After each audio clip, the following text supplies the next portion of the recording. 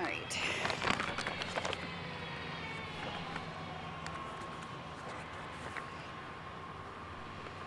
Ready? All right. Good morning. My name is Janice Morley Lecomte. I'm the MLA for Seine River.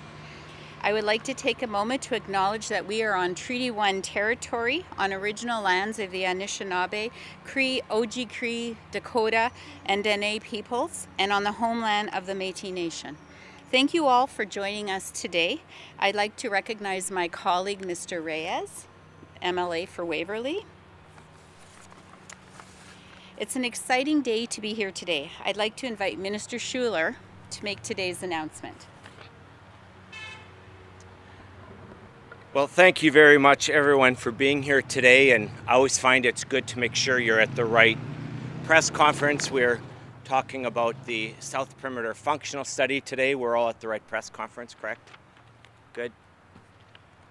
Well, safety is our government's number one priority, and that's why we're all here this morning. Good morning to everyone. Thank you for joining us today. I would like to thank my colleagues for being here as well. We have Janice Morley Lecomte, the MLA for Seine River, and Jon Reyes, the MLA for Waverley. Thank you both for being here this morning. After assuming office in 2016, our government rightly recognized the need for serious work on the Perimeter Highway. After announcing a South Perimeter Safety Review, our government fully funded the findings that were announced, and we're in the final stages of completion. For instance, the Ethan Boyer Way project, which we announced a few weeks ago. Coming out of the first safety review of the South Perimeter Highway, we recognized as a government the safer we make the Perimeter Highway, the less safe uncontrolled intersections on the Perimeter Highway become. Thus, on November 10th, 2017, our government also announced a $3.6 million functional study of the South Perimeter Highway. This functional study is a vision of what the South Perimeter Highway should look like going into the future. I'm pleased to announce that our government has released our South Perimeter Highway Design Study today that will help guide safety improvements on the South Perimeter Highway. In fact, it went live last night to make sure it would be ready for this morning so you can uh, go and have a look at it. It's a substantive download. It's a very substantive uh, project. So our government's number one priority will also be the safety of Manitobans on our roads. Our goal is to make the South Perimeter safer and easier to travel for the more than 30,000 vehicles that drive on the South Perimeter, for that matter, for the Perimeter Highway every day. We've set out to do substantive work to address safety and operational problems. This study will serve as our blueprint for the next 20 to 30 years. In 2017, we began work with an engineering consulting firm, WSP Canada Group Limited, and I want to pause here and thank them for the work that they did. They were very easy to work with. Uh, they did a great job. We're very pleased with the report. And we uh, initially commissioned them to provide a functional design study for the reconstruction of the South Perimeter Highway with the goal to upgrade it to a freeway standard with zero at-grade crossings from the Trans-Canada Highway West Interchange at Portage Avenue to the Trans-Canada Highway East Interchange at Fermor. The South Perimeter Highway is the intersection of the two most important trade corridors in the province of Manitoba.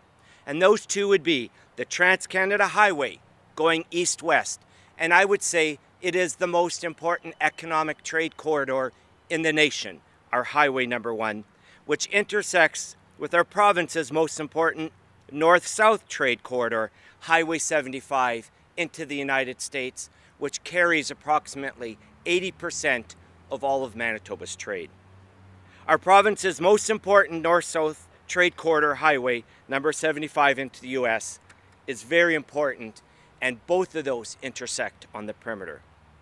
Thus, we began a public engagement process to help inform the study and present design options. Many public meetings were held. They were publicized well. We received amazing feedback from the public. I'd like to point out The last study, the last study for overall capacity and efficiency of the perimeter highway was in 1988 or 32 years ago. Use of the highway has increased dramatically over the past 32 years. In fact, for those of you who don't know, the perimeter highway was first created to move agriculture equipment around the city so if they needed to access their fields and other areas, they didn't have to go through the city. Yes, the needs and demands on our perimeter highway have changed substantially. An updated study was needed to address safety, operational capacity deficiencies, and the general physical condition of the roadway. The study outlines two phases of network changes for the south perimeter. The initial stage, designed to accommodate forecasted 2048 traffic levels, will include upgrading the highway to a four lane divided freeway and improving the structure, interchanges, and bridges. The final stage will include upgrading the south perimeter to a six lane divided freeway, configuring the existing highway and constructing new interchanges where necessary. We currently have four projects approved for design and construction for the next year. There are St. Mary's Road interchange beginning in late 2021. We announced that as uh, getting Manitobans back to work. Uh, that is proceeding um, as we speak. Service Road at Ames Road and Melnick Road beginning in 2021. West Perimeter Highway Service Road from Wilkes Avenue to Oakland Road beginning later this year. And of course, Ethan Boyer Way, the Brady Road Service Road project, which will begin earlier this summer. Three of those are safety in nature, one of those are an interchange. In conclusion, the perimeter highway has approximately 90 kilometer circumference. It has 13 overpass structures out of 23 signalized and uncontrolled intersections. Let's be very clear. We have our work cut out for us as a province. This long term review is neither going to be easy nor is it going to be cheap.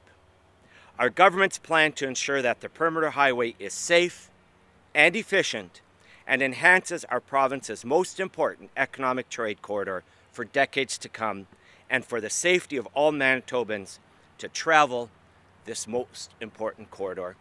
And I am very, very pleased to announce the release of this great study. Thank you. Thank you, Minister Schuler, for making today's announcement. That is the end to the formal portion of the announcement. If there are any questions for the minister, he will take them now.